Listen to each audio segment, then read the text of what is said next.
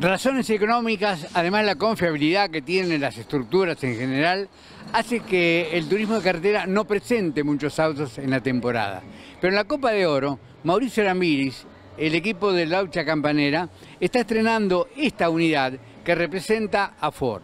Observamos, por ejemplo, le diría que de las trompas hay dos autorizadas. Hay una que produce mejor carga, hay otra que tiene mejor penetración. Eh, no le voy a explicar el, detalle porque incluso es muy difícil de determinar a simple vista todo esto. Los cambios que se pueden hacer son muy pocos, tal cual está el espíritu actual de la categoría. Hay una cantidad de tomas de aire que están eh, debidamente reglamentadas en cantidad y atención, es aquí donde la ingeniería aplicada al auto produce ciertos trabajos que tienen que ver con estudios de CFD para disminuir la resistencia aerodinámica y no comprometer eh, de pronto realmente la carga que necesitan. Mecánicamente alcanzamos a ver acá lo que es un sistema de freno, un caliper puesto desde atrás, este caliper a veces va puesto adelante, a veces arriba, a veces atrás.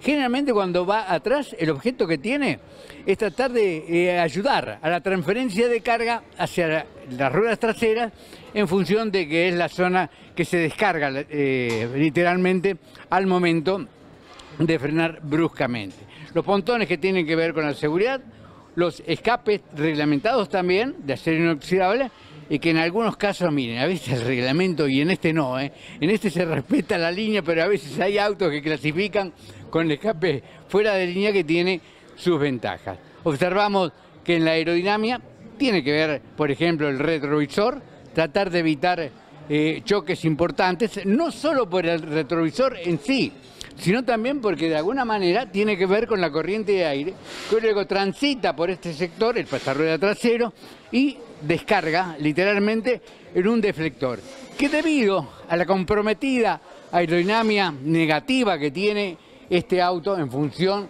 de la inclinación de la luneta, que aquí hace una bolsa, le digo, cuando uno ve el ensayo de CFD, queda asombrado y se explica por qué tanta resistencia de avance que obliga a que este auto tenga un hándicap de alguna manera de potencia.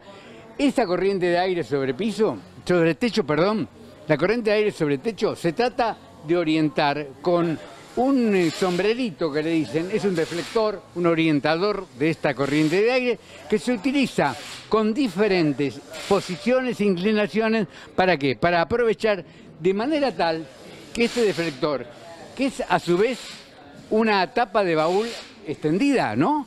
Eh, genere a través del perfil, como así también del Garner, que es esta superficie, la carga suficiente en una zona tremendamente importante que tiene el auto de turismo de carretera, que es eh, sin duda la tracción trasera. Vemos el interior, auto nuevo, prolijidad de la gente que trabaja, eh, colgado el volante porque es la manera de facilitar el ingreso del piloto que está lo más desplazado posible hacia atrás en función de qué?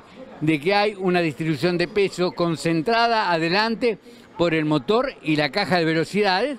Acá está la cobertura de la caja, ¿no? Y se trata de desplazar algo hacia atrás porque lo ideal en un auto es que tenga el 25% de carga por cada rueda. Este auto del equipo de Campanera que conduce Mauricio Ramírez que lo estrena realmente en el comienzo de la Copa de Oro y está en campeones.